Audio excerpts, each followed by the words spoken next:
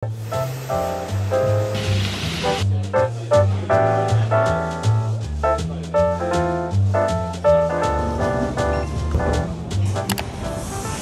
morning, good morning. It is hair day, which means that I'm going to spend the next probably 45 hours sat in the hairdressing chair. It's not something that us ladies look forward to, but it's just something that needs to be done. Um, I'm a bit early, so I've just popped into one of my favourite cookie places. It's called Dang, just to grab a cookie and a coffee for when I'm sat in the hairdressers. Um, I'm going back to half head highlights because full head highlights is quite high maintenance um, and it's quite expensive. And I've been doing full head for the past couple of sessions that I've been going, so I'm going to go back to half head now. Um, and I'm well overdue a haircut. My hair is so incredibly long. I can't remember the last time I got it cut. It's crazy. So yeah, let's go and get our hair done.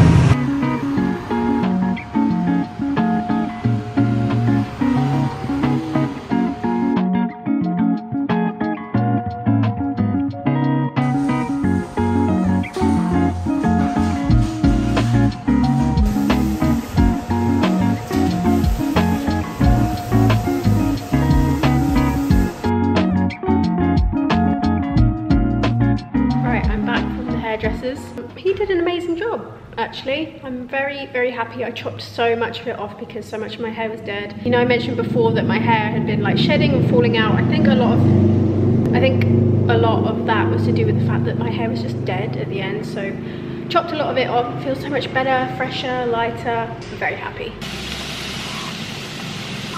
Okay, it's much later in the day. Now I'm making pesto chicken with this ratatouille. I found this tin ratatouille recently and it's really, really good. It saves you like buying all the vegetables, cutting them up, that kind of thing. Yeah, it's like a lazy way out, but it's actually really, really good. So adds a lot of flavour to the dish. And I've got some wedges in the air fryer.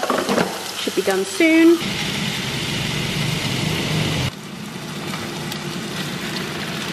Look how good that looks. Honestly, it smells incredible. I've never even knew that tinned ratatouille was a thing. It's so yummy. Mm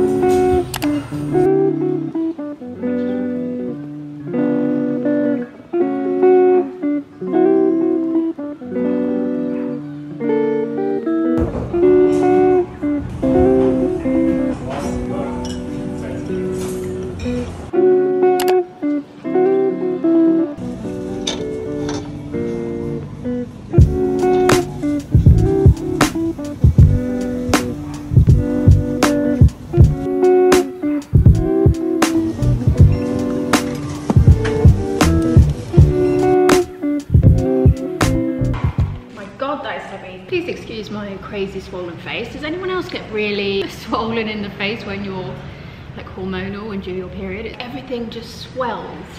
I just look really puffy. I just got back from the supermarket. I had a nice little coffee while I was there. Um, I thought I would do a grocery haul because I haven't done one of those in what feels like years. I got these mini magnums. I love having these in the freezer whenever I get a sugar craving. Magnums. Some chicken and some steak sweet potato fries. I got sourdough. I talked about these before, but this is ratatouille in a can and it's changed my life. It's so, so delicious. And it's just really, really easy. Kidney beans.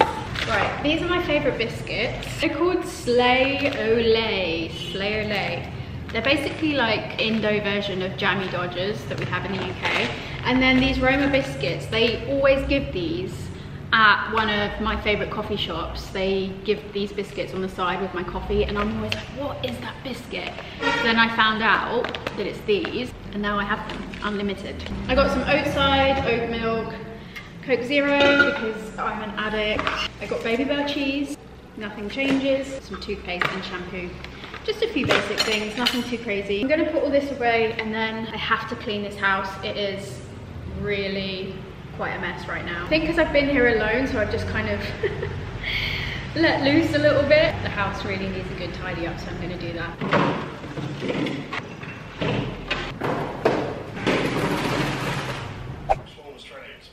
get them to expand that. You need actually feel the pain, right? Okay, first he said we're gonna stop them, now he says we're not, they write down for them. It's not that guy, So I just had two back-to-back clients that I'm helping with social media consulting and I think what I'm realizing is that so many of us have skills that others could learn from or maybe we know things or we have work in a certain niche and we have a lot of knowledge about that area of work. We don't realize how valuable that information is that we have to other people. I think we just assume like, oh, everyone knows this, but they really don't. And I think that's what I'm finding so rewarding about this is that I've been working in this like digital marketing, social media world now for like the past 10 years and there's so much knowledge that I've accumulated over that time by, you know, actually doing it myself and working in that area for other companies.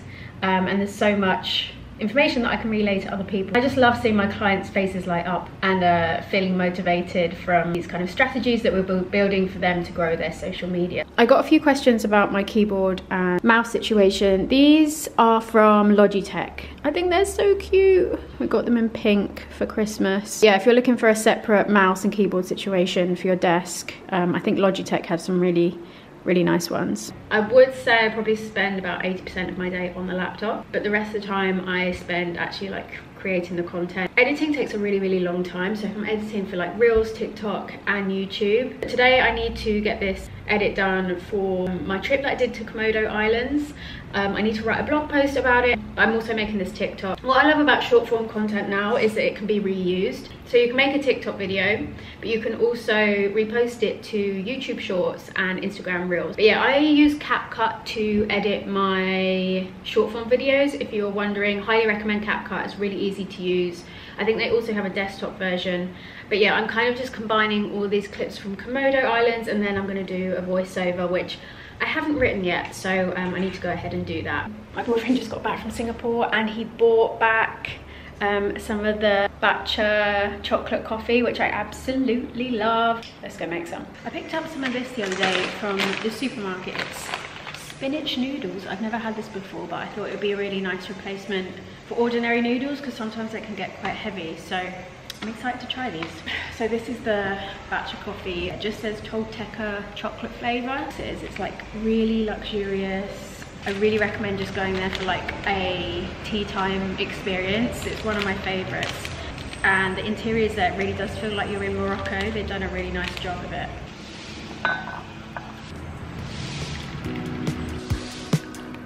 Cause baby like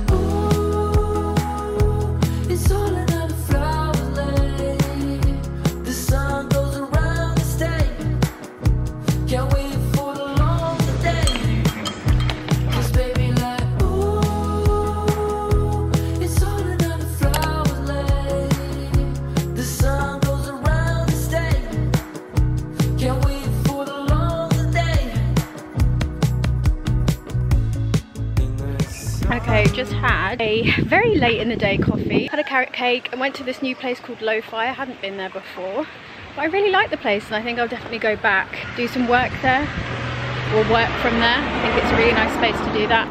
But only 10 minutes from that place is the beach. So I like this road because you can actually walk down this road. This is a really nice one for walking. So I'm gonna head to the beach, um, maybe catch the sunset, we'll see.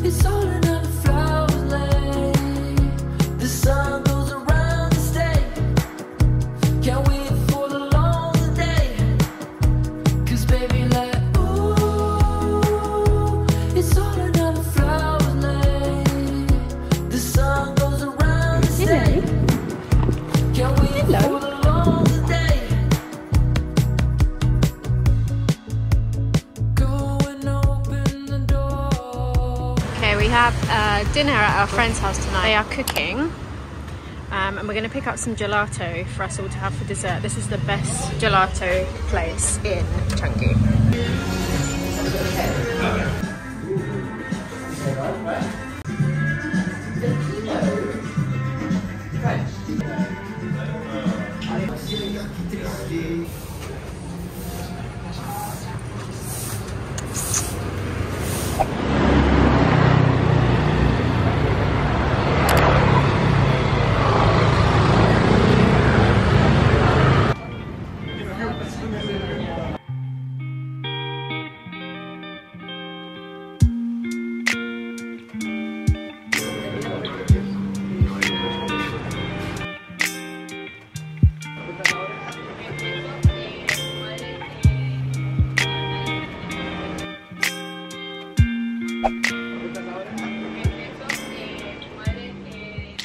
Got back from um, the coffee shop. I felt like my brain just wasn't functioning this morning, so I needed to go out, have a coffee, and now I just feel like my mind is working. Um, I went to Copenhagen Bakery. I feel like I've tried all the coffee on this island, or at least all the coffee shops in Canggu.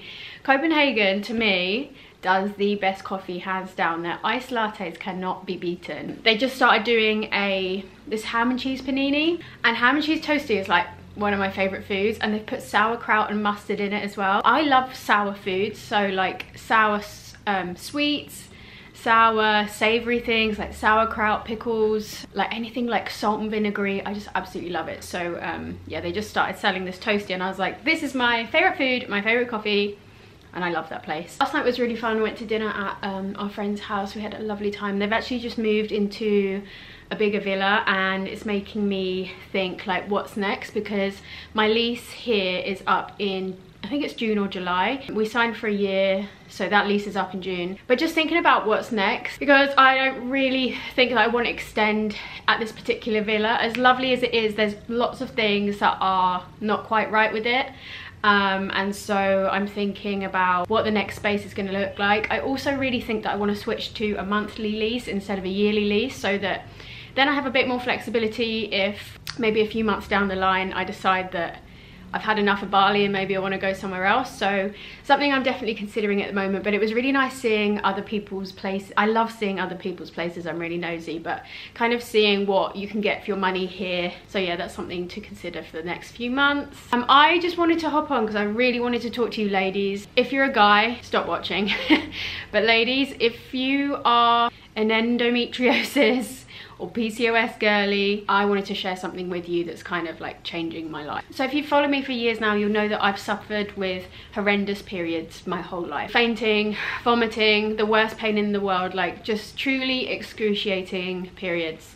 Um, and so my mum and dad went to India a couple of months ago and then they came to visit me in Bali. And while they were in India, they were like, we're gonna look into some Ayurvedic medicine for you and see if we can bring you back anything for your period pains. Because Ayurvedic medicine is never a route I've like explored. I've always just taken like ibuprofen, Nurofen. Nurofen Plus is the only thing that like saves me from the pain that I'm in every month. So they bought me this back. It's called Shatavari. Please focus. Shatavari tablets. And so it's just like a herbal medicine. They come in tablet form. And I've been taking two every day for about the last eight weeks now. And I googled it like what is it supposed to do and it's supposed to reduce period symptoms I was also suffering with like PMDD. So just before my period, I was getting like the worst symptoms ever, ever. My moods were crazy. My boobs were like massive and swollen and sore. I was emotional. I didn't want to do anything. I felt really depressed. And since I've been taking these, I just feel like my mood has just neutralized and this is like huge for me. This is like life changing.